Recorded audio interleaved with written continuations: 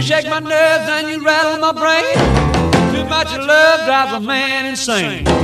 You broke my will, but what a thrill. Goodness gracious, great balls of fire. I let you love what I thought it was funny.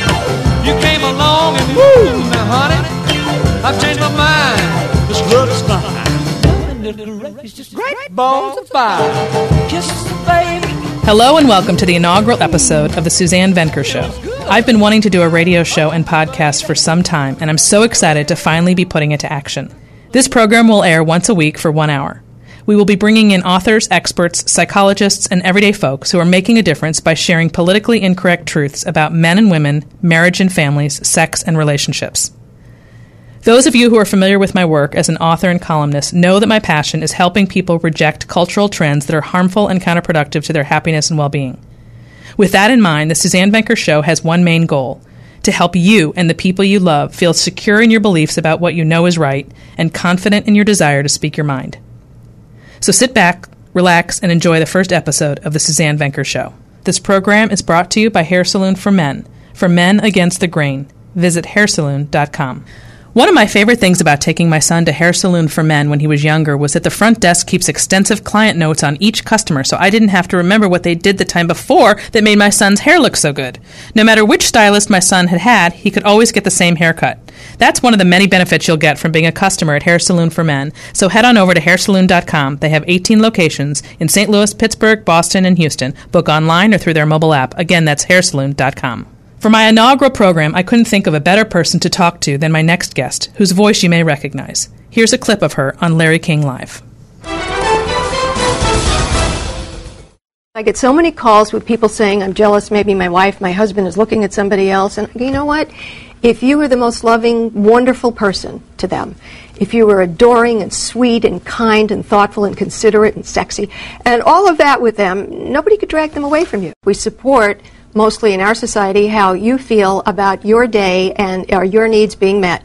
If if I could think of one reason that people give me time and time and time again on the show when I ask them why they had the affair or why they hurt their feelings, and it's because, well, I wasn't getting my needs met. It's all about what I'm not getting. And people have forgotten that getting married is a pledge to make somebody else's life worth living. If you couldn't tell, that was Dr. Laura Schlessinger, commonly known as Dr. Laura. She's the author of 13 New York Times bestsellers and is host of one of the most popular talk shows in radio history, which you can find on Sirius XM Radio Channel 111. Dr. Laura offers no nonsense advice infused with a strong sense of ethics, accountability, and personal responsibility. In 2018, Dr. Laura was named to the National Radio Hall of Fame. So that's the professional You bio. out that I'm a little wacky and funny. Oh, I'm sorry. Yes, we're going to get to that. We're going to get to that. You're definitely Oh, okay. funny. You're definitely funny. Um, I that's sort of just the professional background I wanted to give people real quick. But then. I wanted to get into the more personal side. For me, Okay. there are very few high profile individuals who have the courage and the moral fortitude to encourage people to do the right thing, which is the tagline of Dr. Laura's program. She's one of the few media personalities willing to talk about things like honor and character and right and wrong without worrying about the fact that doing so is considered blasphemous today. It is utterly refreshing, and it's the reason I have such respect for her. Dr. Laura has taken a lot of heat for being very straightforward in her approach to sensitive issues, but I also know, having listened to her for years, that most marriages and relationships could be saved if couples fired their therapist and listened to Dr. Laura instead. So please join me in welcoming Dr. Laura to the program.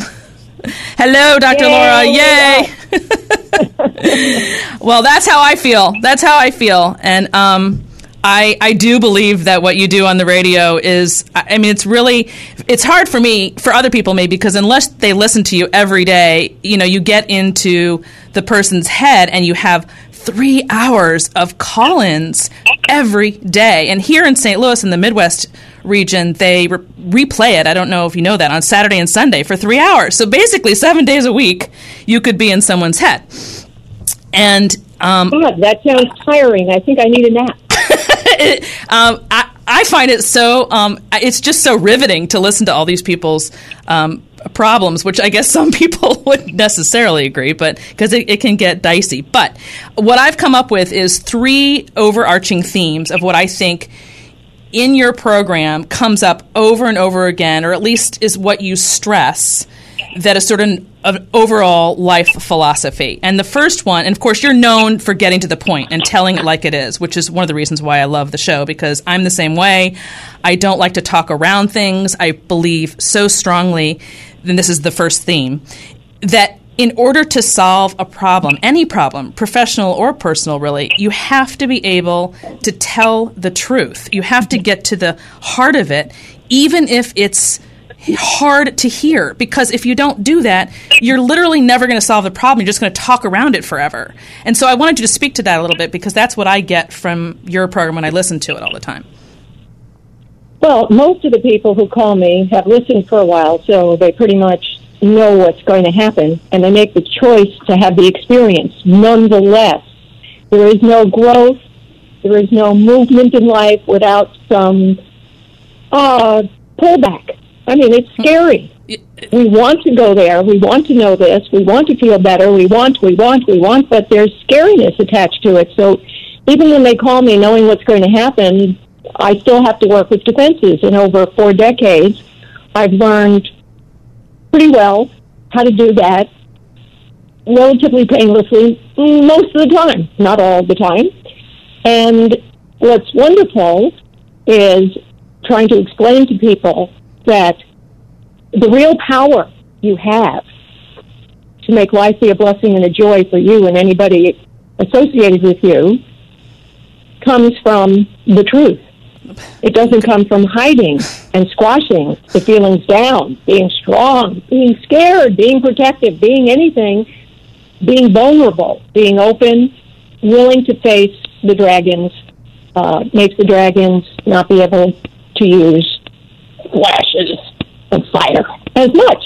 Good. Not- so when people call me about their marriages, I want to know if they understand how they're screwing up. Mm, exa- oh, and that's I could not agree more. And of course, that's that was the um, focus of my last book, uh, where I was, was basically putting women's feet to the fire because I'm tr- and we're going to get to this later because this is one of the topics I want to talk about today. Um, in terms of what when you have a problem with a relationship, the better thing to do is to look inside yourself rather than at the other person. That's where you're going to find your your how, that's how you're going to solve the problem in the end. Okay, so that's the first theme, which I completely agree with. But wait, wait, I hadn't quite finished the thought of explaining why that's true. Oh, sorry. I think that's important to express. It's true because if we are simply a victim, then we have no power to make anything better. But if we're willing, frighteningly willing, to look at what we should, could be doing, what we should not be doing, and face that, take responsibility for it, then we have something we can change. That is what gives us the power. So if you're a victim, you have no power. If you're a part perpetrator of your own life, that gives you the power to make a left or a right hand turn. Otherwise, it's hopeless. Completely agreed. And you actually just, uh, that was exact the exact terms I was going to bring up on the second theme, which is the idea that your attitude towards something determines the outcome, not the circumstances. You are either a victim or a victor. And that's basically what you were just getting at there. And that puts the power, as you just said, in the person's hands if they know that just a simple shift, sometimes it's just the simplest and the smallest shift in the, your perspective can change the way you approach something if you're open and willing to do so. So you basically covered two in one there. And then the third one is feelings. You focus a lot on Actually, feelings. you covered two. I didn't really get to it. and I would like to take a little bit of an aside there. Uh, it's not just our attitude. I mean, there are things that can take us out, and it doesn't matter what your attitude is, you will be taken out at the pockets. So there are times you have to accept that whether you're optimistic, pessimistic, or in a coma, there are things that are going to happen over which you have no control, and your attitude will not necessarily alleviate the righteous pain that one feels when that happens. And so I try to help people understand that there are certain things in life that we have to endure. And that's not so much an attitude thing as a character thing. That we accept that there are things in life that are unfair, unreasonable, painful, hurtful, negative, mean, terrible, and etc. Every other word I could fit in there. And sometimes It simply has to be, if I can be so ridiculous as to use the word simply, has to be endured.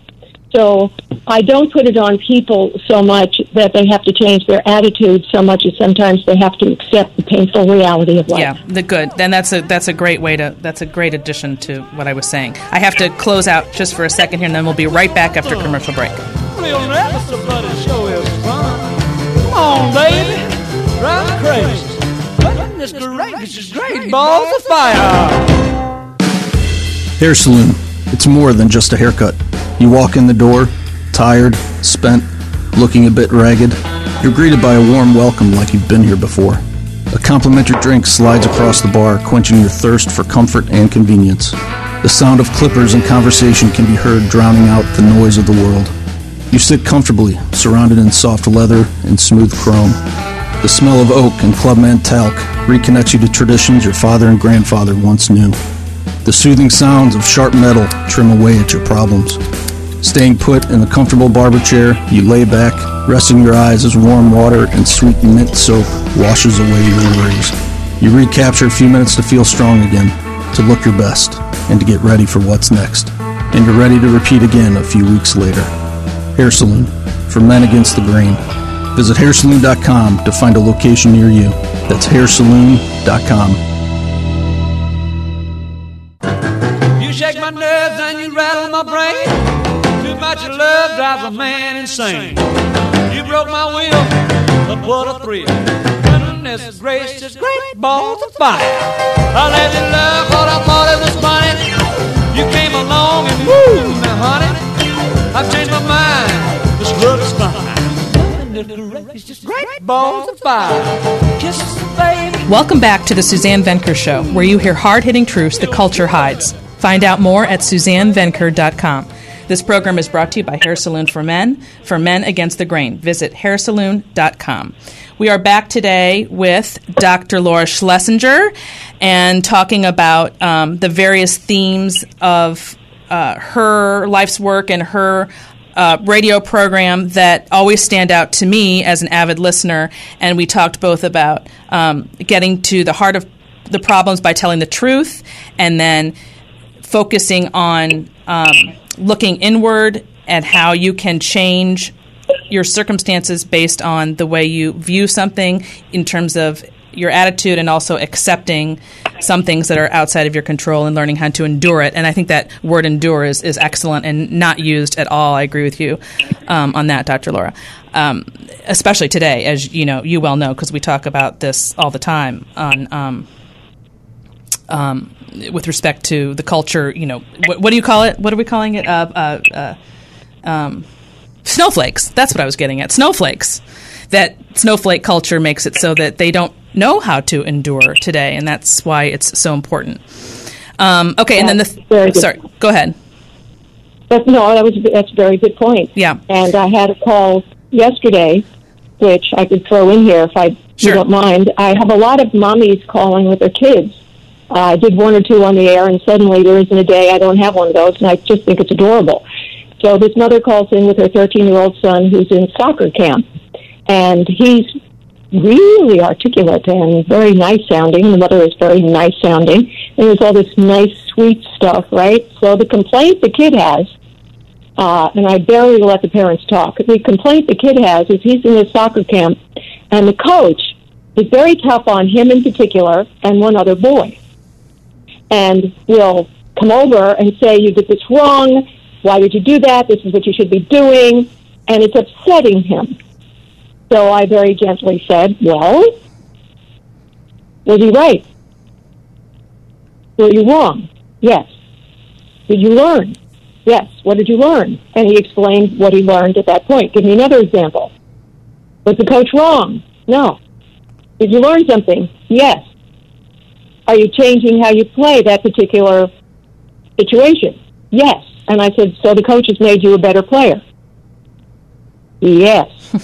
and then his mother types in, But he's not used to that tone. Ah, uh, okay. And I ignored her and went back to him and said, you're you're a male. You're going to be living in a male world. You go into the military. You go into combat.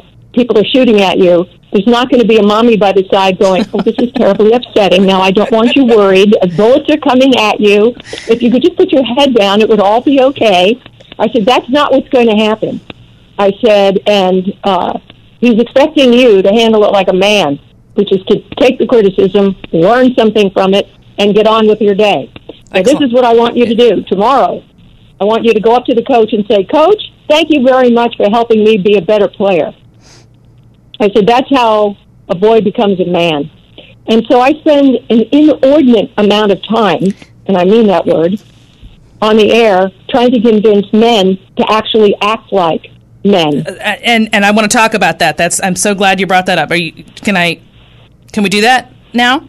You can do anything you'd like. Okay. This is your program. Well, I didn't want to cut off You're your story. Boss, I, I, I, want to make sure your story was finished. That was a great story, and it leads in great, uh, perfectly to what I want to focus on. So it, you you do talk inordinately, and that's a good thing, in my opinion, about how men become, or boys, let's say, become men. And that also leads into my other topic I wanted to get into with respect to how modern women in particular don't understand men because they've taught they've been taught to be resentful of both men and marriage. And that's that's a bigger conversation. But they work together. Yeah. they work together because essentially that's those are the two things you that come up a lot on your program is helping women understand the simplest um, concept that that that most women uh, in the history of time have grown up hearing from their mothers and grandmothers, which is how to love a man, how to motivate a man, how to be a good wife. These are things that are just taboo to talk about because women are supposed to not do that. They're supposed to focus their entire life on their career. And so they have no advice or guidance on the personal front. And so now they're flourishing professionally. That is true, but they're failing miserably on the home front. And that's where you and I come in and why we're so like minded on this. So you want to speak to that a little bit? Well, with respect to the kids, I remind women daily and ferociously, as I can, muster up, that you put a kid in daycare and that kid is unloved all day. Mm-hmm. Unloved all day.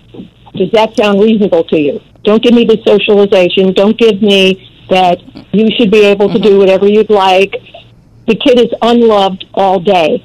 That's a bad mother and I actually use the words bad mother. Yes, you do. In fact, it's almost a non-mother because if I have a job uh, in a grocery store and I don't show up, I can't say that I'm a grocery store clerk.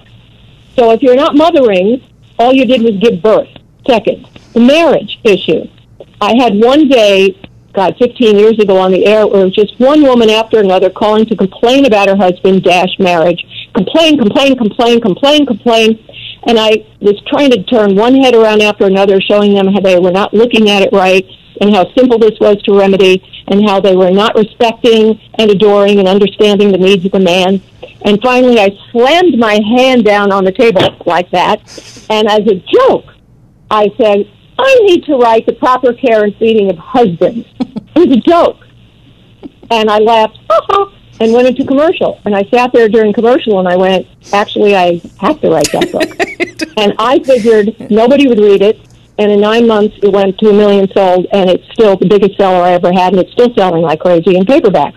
And women are giving it to their daughters and da- daughters-in-law and friends getting married. And I always say that should be, uh, you know, the little party you give a woman before she gets married. Yeah, that should yeah. be Right. Yep. The, the, the gift or whatever, the takeaway, the take home gift or whatever you call that. Yeah. Yes, because it's actually quite simple. Uh, men are uncomplicated. They're born of a woman, so their first experience with security, love, affection, attention is from a woman. They shift that to a wife. They're wanting the same things. They're wanting somebody to hug them, hold them, feed them, tell them they're wonderful, and they'll do anything for you. And that's why I talk about a guy will swim through shark infested water to bring you a lemonade. This is all you need to do. It's not complicated. So I've had women on the air. I've explained this to them when they were the brattiest sounding women. Mm-hmm. They call or write to me within 48 hours going, I cannot believe this. I did this sweet thing for him, told him he was my man, my hero, and suddenly he's doing the dishes, taking out the garbage. he's doing all, he's fixing pipes uh, and men are uncomplicated, but women have become so arrogantly narcissistic mm-hmm. and hateful about being a woman. I mean, imagine being supportive of killing a baby in your body up to the point of birth. What have we done to women that a woman would think? 20 seconds before birth, you can kill No, the life in your body. I mean, it's just How disrespectful can we be about the miracle that takes place in our bodies? It's it's just shocking. I mean, how far we've come, or haven't come, I should say, devolved in 40 years, and we know why that is. You and I both, and I want to talk about that when we come back because what I haven't addressed specifically head on yet, of course, that you and I have always addressed head on is feminism and what how destructive that movement is and why it is. And I think the difference between you and me is that, correct me if I'm wrong, you at one time were a feminist or thought of yourself as one and then sort of had a come to Jesus party later or awakening later. Uh, whereas I, I never did have that transitional th- thing happen. But at any rate, I'd love to talk about that when we come back. In addition to what you and I have both experienced with the feminist media and what that looks like behind the scenes. Is that good? Good. Okay, we're going to take a quick commercial break. Be right back. Love you like I love. You're fine, so kind. Got to tell this world that you're mine, mine, mine, mine. You're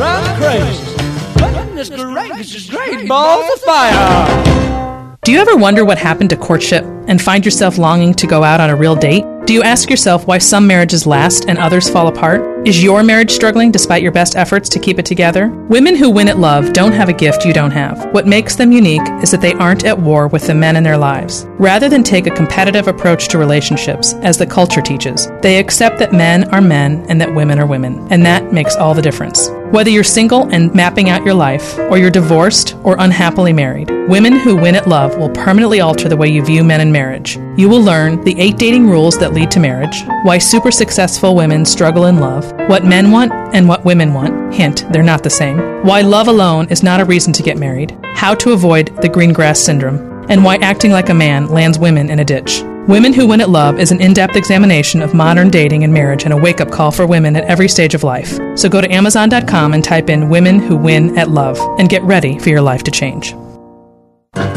You shake my rattle my brain. Too much love drives a man insane. You broke my will, but what a thrill. Goodness gracious, great balls of fire. I let you love what I thought it was funny. You came along and woo, now honey. I've changed my mind. This love is fine. Goodness gracious, great balls of fire. Kisses, baby. Welcome back to the Suzanne Venker Show, where you hear hard hitting truths the culture hides. Find out more at SuzanneVenker.com. This program is brought to you by Hair Saloon for Men, for men against the grain. Visit hairsaloon.com. And we're talking today with Dr. Laura Schlessinger, my um, inaugural guest, which I'm thrilled to have. Um, thrilled to have her here. And we've been talking about all kinds of things related to men and women and sex and marriage and all of that. And I wanted to get into sort of the the meat of what's happened over the past few decades as to why we've devolved so much in terms of gender relations and marriage and family and the other topics we were mentioning. And that, of course, is feminism. And both Dr. Laura and I are, are big fighters of feminism, I guess I'd put it, and um, have taken a lot of heat as a result. But um, I wanted to tell a little bit of, of her story first about, um, about that. Dr. Laura?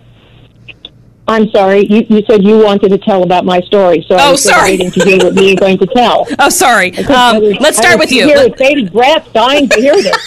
Let's start with you. You tell a little short quip, if you would, on uh, what your what your experiences have been or what your thoughts are on that subject. Well, I was in college in the 60s, and of course, it was very appealing when you're young to hear that you're special, you're spectacular, and you're the most important thing on the face of the earth, and nothing else and nobody else matters. When you're a very young person, that's appealing because you're immature. And the whole point of maturity is to change that perspective because when babies are born and they're suckling at their mother's breast, they actually believe that the breast is connected to them, that it's theirs, they own it. So as a child develops, the child sees that the mother is a separate person. Well, as the child develops into adulthood, they start seeing that there are other people in the world to whom they owe something. that they are not the center of the universe. Well, feminism stopped that dead. So that step of we owe other people something and that we are made to be more and special by virtue of what we do for others, not what we constantly do for ourselves. Feminism stopped that. So feminism started out as equal pay for equal work, and then it morphed into something terrible, Mm-hmm. which was retarded development. Mm-hmm. And so it's all about us. And if they were really about uh, elevating women who achieve and using them as inspiration and role models, I would have been on the cover of Ms. Magazine 52 times instead of getting raspberries. So uh, they have attacked me, and I don't. Yeah, activist groups are are like fleas at my ankles. I don't really worry about them a lot. Right, but that, so what I focus more on is what I call the feminist media because, of course, they're saturated in that in that domain. And if you're if you're up against if you need the media in any way, or if you're using it to sell something and your message does not comport with what they believe, obviously you're going to have the we uh, who, whoever does it is going to be on the opposite side of the fence and going to have a harder time of it. Well, the fortunate part about this, with respect to my life and career and work, is I don't need anybody in the media anymore. No, I'm you on don't. Sirius Right. XM, right. And they believe in free speech, and they have protected everybody. And we have Facebook and Instagram Right. and podcasts. Yep. We have a million ways, as our president says, to get directly to the people. I know it's been. don't have. Go ahead. Sorry. I don't have I don't have to worry about slogging through. I don't do TV anymore. I mean, I just sat across from too many self-serving idiots Ugh. who just wanted to get their bones by trying to embarrass me. Mm-hmm. To me, they embarrass themselves, and that's boring. And uh, although I do miss getting dressed up as often as I used to.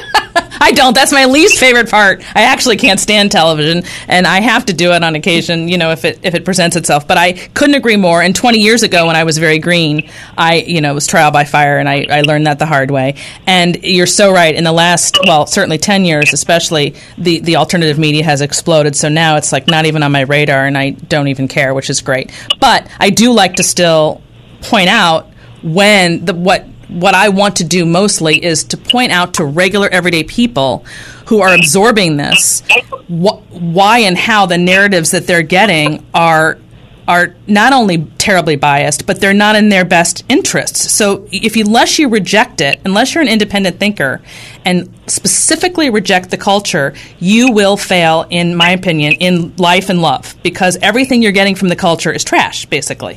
So you have to find alternative ways of getting your information, and thank God, you know, people can do that today in a way that they that they couldn't before. So that's great. And I do love the, the, and I want to point out to my listeners. So, Dr. Laura can be heard, as she said, on Sirius XM radio today. That's channel 111 for those of you who have it. And she used to be on terrestrial radio once upon a time. Then people, myself included, sort of lost track of her. And then she got back on via Sirius, which um, is a completely different animal and has been really great. So, that's where you can find her if you're well, looking there for was her. there was not a day that I was off the air. I was on a Friday on terrestrial, Monday on Sirius XM. I didn't miss a beat. Got it. Got Well, I lost track of so you. I- grateful. I wish I had done this ten years earlier. Yeah, I, yeah, no, I've heard you say Five that. Okay, years. okay we're going to come back in years. n- Whatever. one minute. I got to take a quick commercial break. You're fine. So kind. Got tell this world that you're mine, mine, mine, mine. Ain't you trying to hell and I quit on my thumb? Real never somebody show is fun. Come on, baby. Drive me crazy. Goodness gracious, great balls of fire. You're a man that respects quality over quantity. You value relationships that can stand the test of time. You enjoy convenience without sacrificing comfort. At Hair Saloon for Men, we get it. We are restoring the time honored tradition of delivering a haircut experience men across all generations can depend on. Because sometimes the man everyone depends on needs a place of his own to depend on. The experience goes well beyond the haircut. With every perfect haircut service, you receive a complimentary beverage, a relaxing shampoo, a hot towel and mint for the perfect finish, and remember to take advantage of the complimentary shoe shines. While today's world is filled with numerous clip joints and fancy salons, Hair Saloon is building something better, something different. Book appointments online 24 7, and walk ins are always welcome. Hair Saloon, for men against the grain.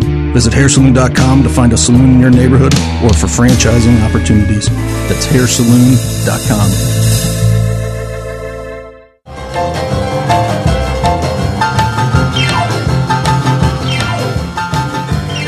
Welcome back to the Suzanne Venker Show, where you hear hard hitting truths the culture hides.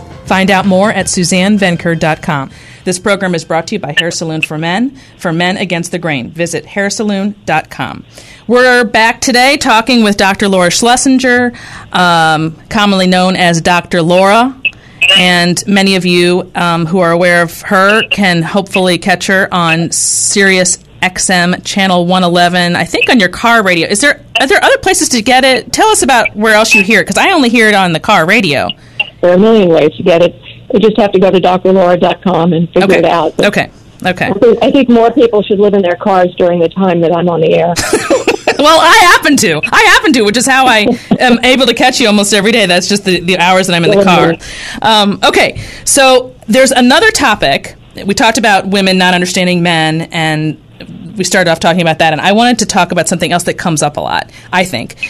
Um, either individuals or couples who come on, come on and talk about some sort of gender role reversal where either the woman's the breadwinner, the dad's at home, or you know the wife's at the breadwinner, the husband's at home, or the wife makes more than the husband, or just some sort of gender role reversal situation that, of course, then upsets the dynamic in the relationship, and they're completely confused as to why that would be.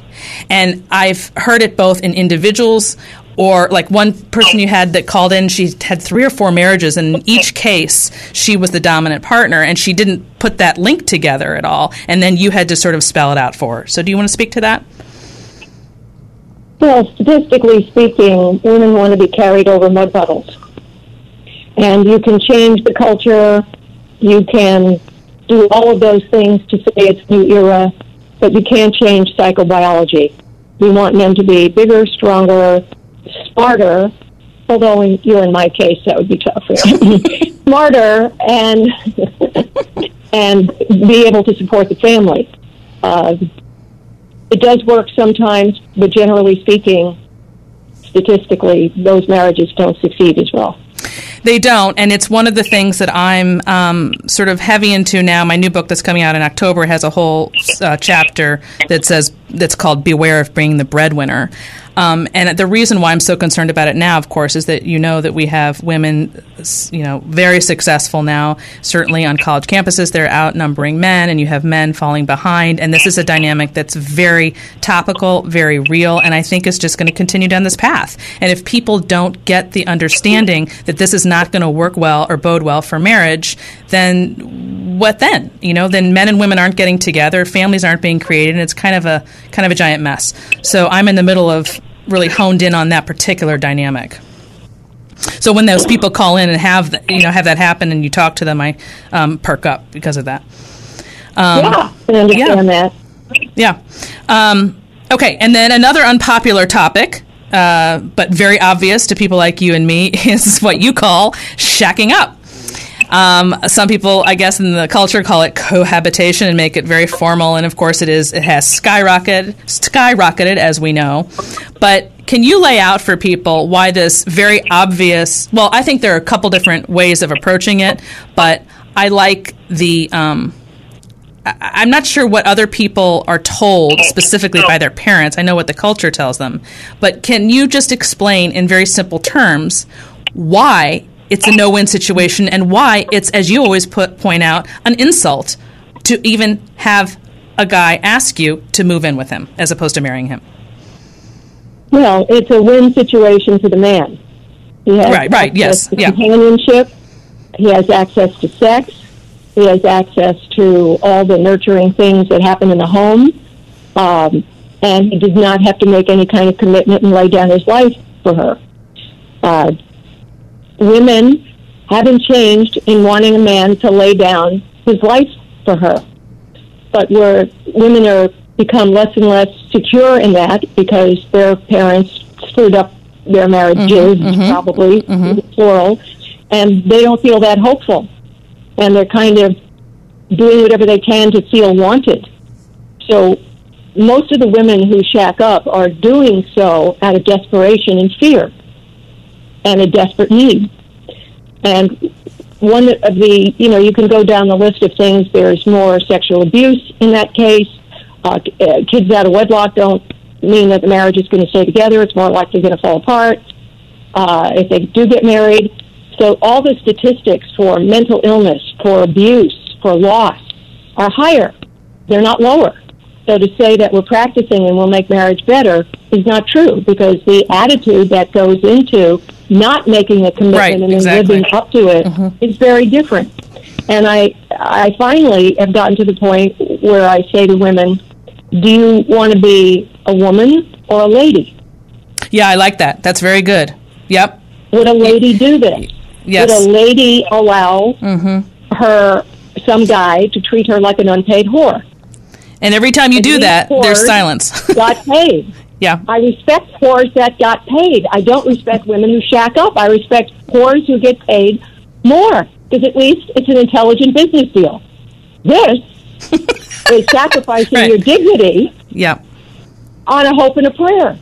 It's pathetic. It is pathetic, sad. and it's also during the years when you're losing your uh, ability to have children. So they get involved in all they these. often they often do this, dragging along kids from prior Well, that marriages too. and what have you. So That too. Uh, I tell them you're hurting your kids, and is that important to you? That you're taking away their hope that they can actually have a committed, sacred, safe, consistent home in their futures. You're taking that away from them just so that you have some guy in the house. Is that really? Is that really how you want to see yourself? Great. Okay, and then we're going to close out for just a minute, and when we come back, we have just a few minutes left, and I want to ask you about um, what I think might be a new book coming out this year. That's a sort of a compilation of of work. Is that true? Yes. Okay, we'll come back in just one minute. Okay. Okay.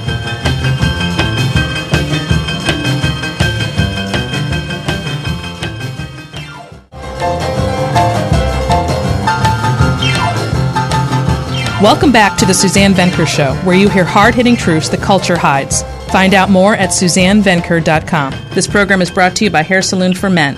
For men against the grain, visit hairsaloon.com. And we are back with Dr. Laura Schlessinger, and we just have a few minutes left. And I wanted to ask her about um, a new book that I think she has coming out this year. Well, thank you for mentioning it. I wasn't going to, but Well, I thought I heard you say that on your program last week. 15 For 15 years, I've been doing uh, monthly columns for Newsmax magazine.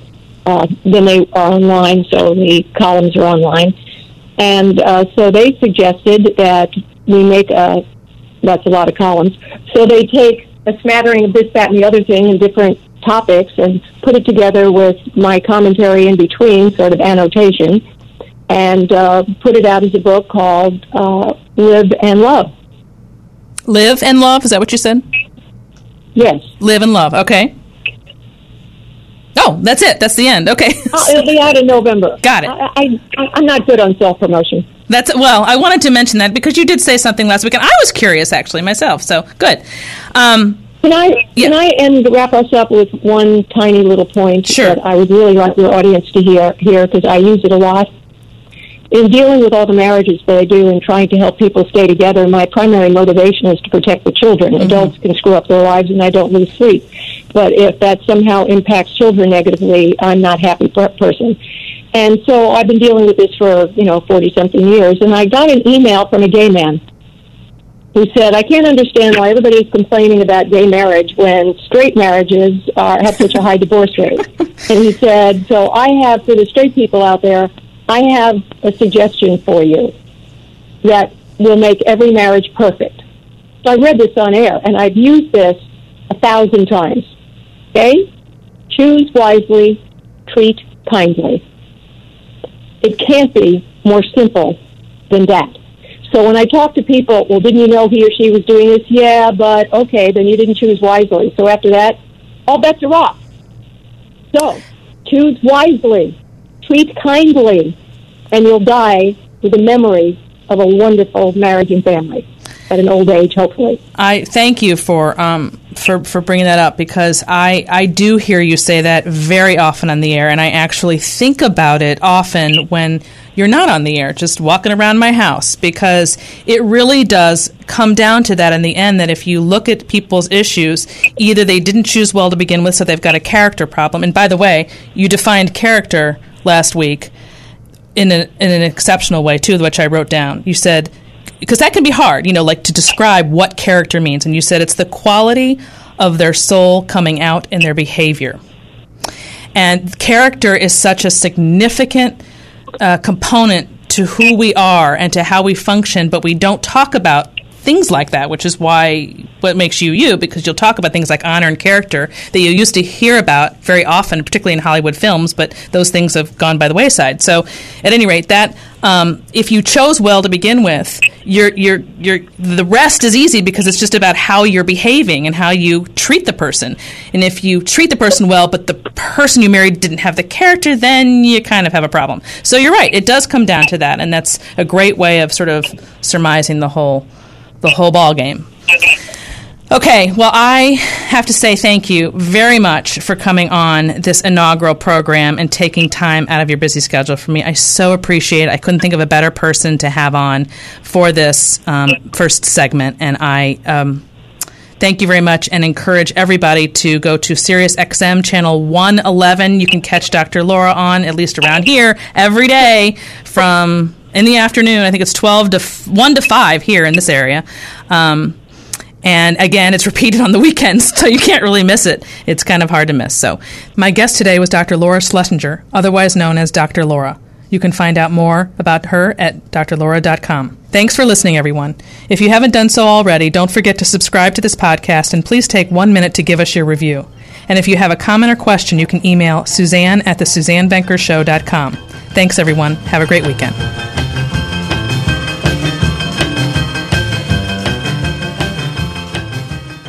Do you ever wonder what happened to courtship and find yourself longing to go out on a real date? Do you ask yourself why some marriages last and others fall apart? Is your marriage struggling despite your best efforts to keep it together? Women who win at love don't have a gift you don't have. What makes them unique is that they aren't at war with the men in their lives. Rather than take a competitive approach to relationships, as the culture teaches, they accept that men are men and that women are women. And that makes all the difference. Whether you're single and mapping out your life, or you're divorced or unhappily married, women who win at love will permanently alter the way you view men marriage. You will learn the eight dating rules that lead to marriage, why super successful women struggle in love, what men want and what women want. Hint, they're not the same. Why love alone is not a reason to get married, how to avoid the green grass syndrome, and why acting like a man lands women in a ditch. Women Who Win at Love is an in depth examination of modern dating and marriage and a wake up call for women at every stage of life. So go to Amazon.com and type in Women Who Win at Love and get ready for your life to change.